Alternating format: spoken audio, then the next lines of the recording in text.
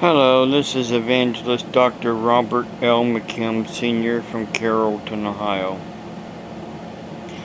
I'm wearing my, uh, well, 9-11 uh, Remembrance shirt. On the back there's a bigger, much bigger patch than this one. I don't know if you can see it real good or not. It's uh, like a police patch badge to remember the fallen during 9-11. Now we gotta remember the fallen during 7-7. Another date to remember the fallen of 7-7. Granted, in yesterday's vi video I did, I said that the police officers and judges that in the cowboy days, well, they didn't have police officers, they had sheriffs, and they had deputy sheriffs.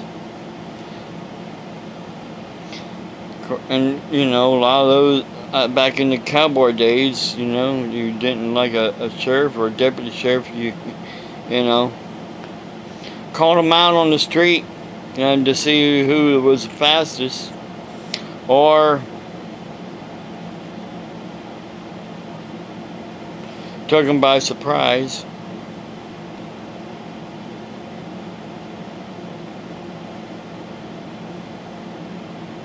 And judges, they uh, mainly, you know, took them and hung them.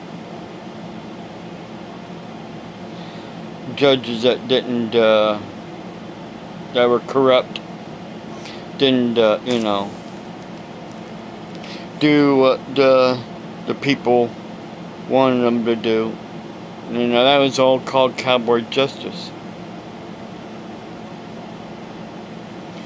Today we have a legal system. Even though the legal system is flawed, a lots of flaws in it.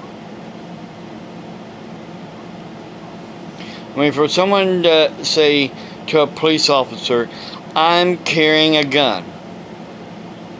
I have a permit to carry a concealed gun. And for a police officer to say, well, don't, you know, move, but yet I want to see your license and registration. Excuse me, how can you not move and still get your license and registration? How can you do both at the same time, not move and move? You can't move and not move at the same time. So when a police officer tells you, I want to see your license and registration, oh, by the way, I'm carrying a concealed weapon.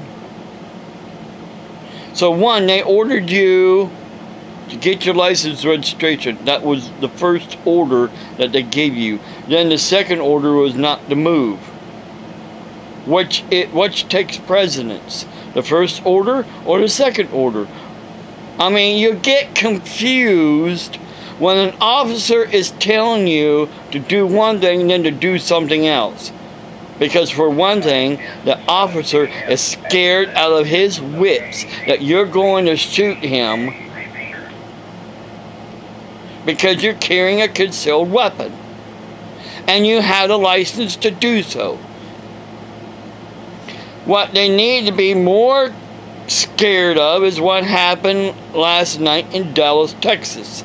These men coming out with AK 47s or whatever machine guns they were and targeting police officers directly. And that. There's some speculation that they could be linked to ISIS because one of the guys killed themselves.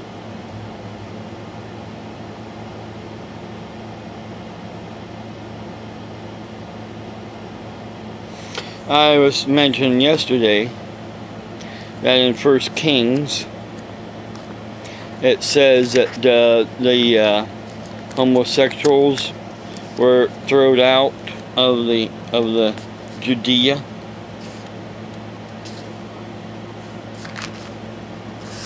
And I found out where that was. That's in uh, First Kings 15.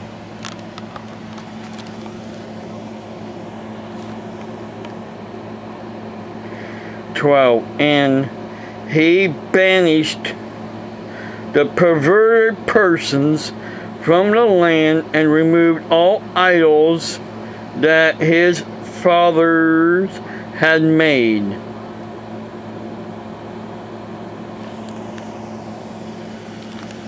Now, I wanted to also read something else. Okay, if I find it again here in my broken down Bible.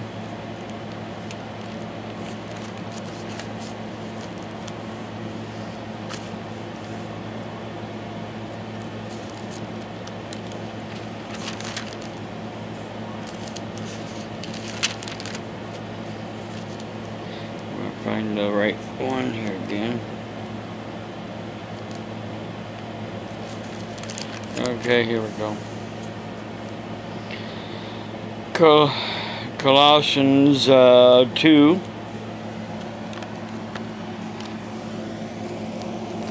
It says in uh, Colossians 2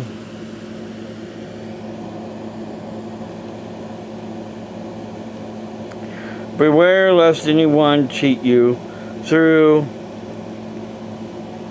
philosophy and empty deceit, according to the traditions of men, according to the basic pr principles of the word, I mean, excuse me, of the world, and not according to Christ.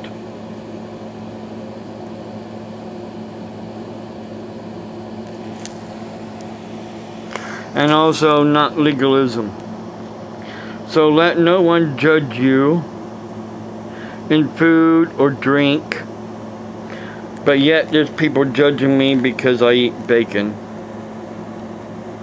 Or regarding to festivals, or a new moon, or Sabbath, which are a shadow of things to come, but the Oh, but the substance is of Christ. Let no one cheat you of your reward, taking delight in false humility and worship of angels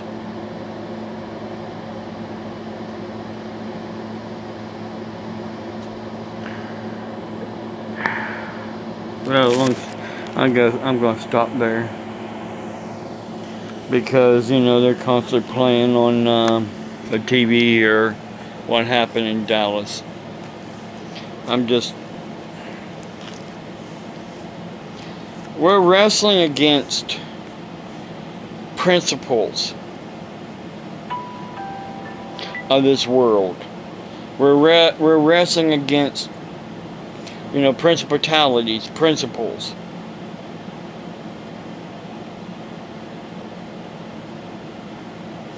You should be putting on the whole armor of God. But there's people out there that don't believe in God. So, you know, I'm talking to the choir here when it comes right down to it. And to those who don't believe in God, who want to mock me and mock other people who believe in God, you're going to find out sooner or later who's right. Because you'll be dead wrong. And is that what you want? You want to be dead wrong? Take down that website now. Take down the Kiwi Farms website now. Do it now.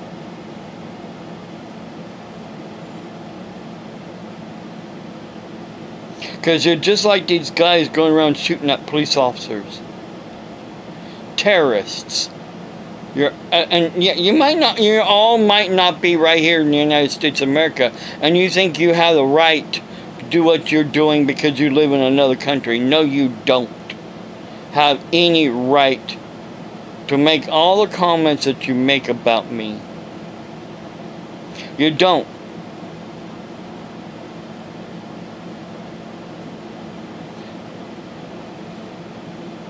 Think you're better because you don't believe in God. You're no better than a worm that goes, uh, burrows in the ground, gets on a hook, and goes into a fish's mouth.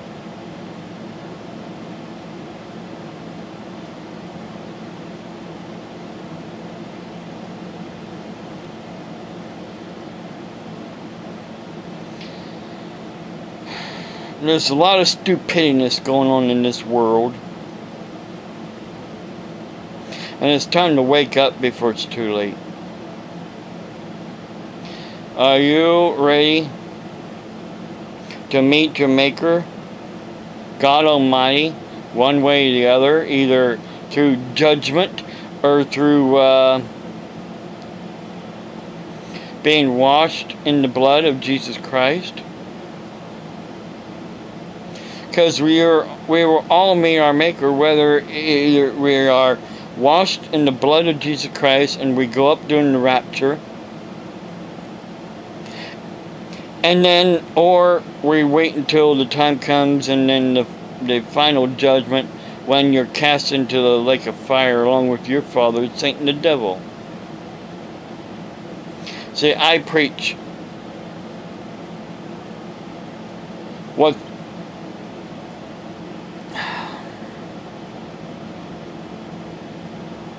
I preach all the bad stuff before I start preaching all the good stuff.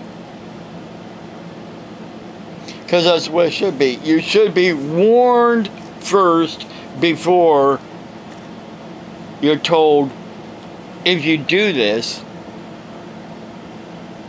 you know, God will love you. God, God loves you.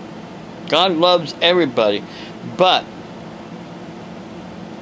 your name will be written in the Lamb's Book of Life if you follow his commandments. Both old and new commandments.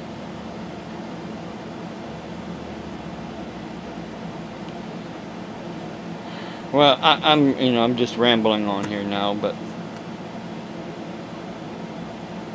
the world's gone mad. Police officers being scared of uh, law-abiding citizens that carry a concealed weapon and shooting and killing them. And then and then these possible jihad jihadists shooting and killing uh, police officers.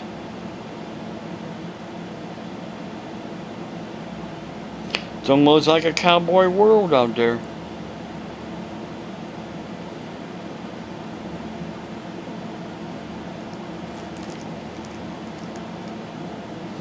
But I urge all you uh, who listen to me who do carry a concealed weapon to get a shirt. Wear a shirt that says something about you're carrying a concealed weapon. Wear a badge that says you can you carry a concealed weapon. That you're a, a cop, a citizen on patrol.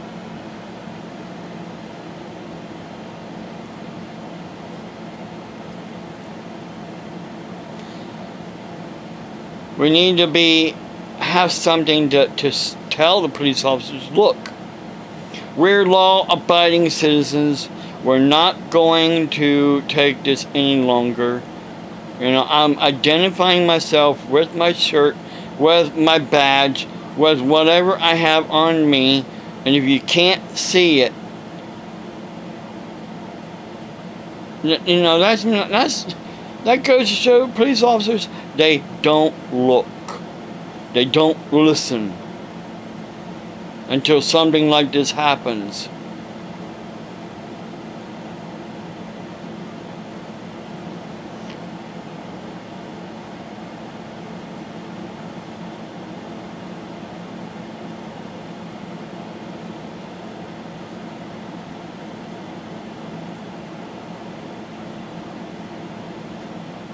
You know, we don't know what happened up leading up to that guy getting shot. But I can tell you this. There's probably a lot of miscommunication between the police officer and that guy. The guy was probably originally told to get your ID out and your registration. Then he probably told the officer he was carrying a concealed weapon and have a concealed carry permit. Then the officer probably told him, don't move your hands. But yeah, I'm going for my ID because that's what you told me the first time. So in reality, you shot him because you told him to get his ID and his uh, registration out and, and hand it to him. Miscommunication is what killed him. You do not communicate. I do not need to see your driver's license and registration now. Just keep your hands on the steering wheel. That's what you should have said, officer. Who shot that guy. But no, you didn't. You, you, you, you made miscommunication a lot worse. I'm not no stupid idiot.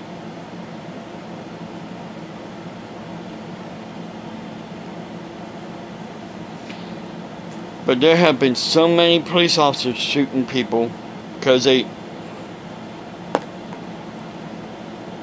they're scared. They're scared that a law-abiding citizen is going to get their uh, gun that they legally have the permit to carry and shoot them.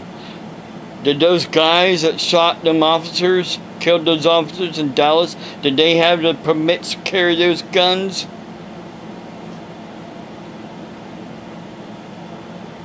I need to get off here. I've said, you know, enough as it is. It's, it's just gone stupid. We need Jesus in this country again. We need God in this country again. We need police officers to communicate with citizens. We need police officers to to um, be able to properly identify a person who is carrying a concealed weapon.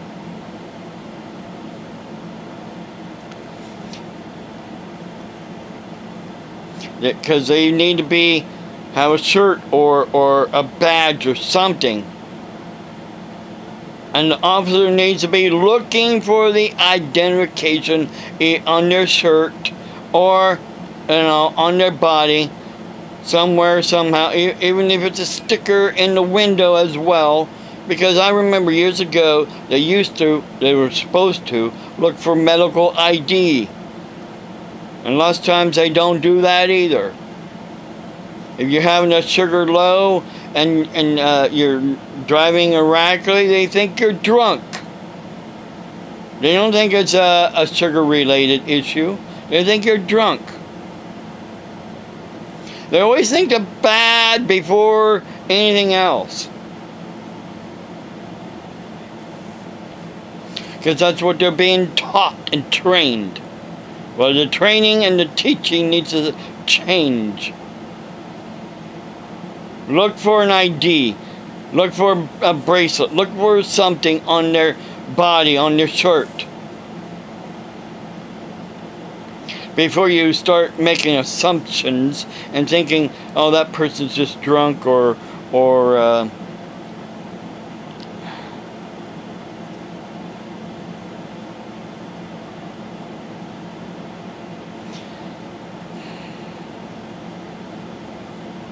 I need to go out here. God bless you. Have a blessed day.